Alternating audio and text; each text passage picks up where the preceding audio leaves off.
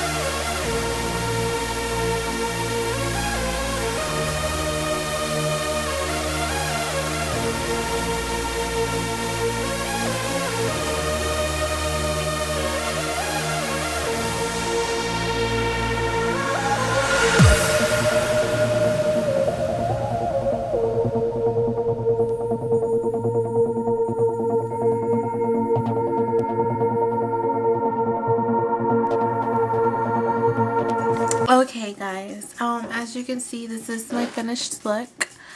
Um, yeah, the lashes need to dry, but oh well. Um, since I do want like a little sparkle, I'm gonna use, um, what is this, Young Punk.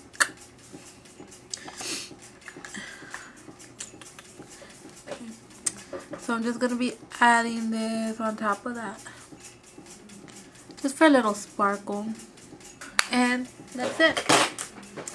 That is my finished look now I'm going to do is add some mascara to the bottom of my lashes. This is my finished look um it's nothing too dramatic nothing too dramatic.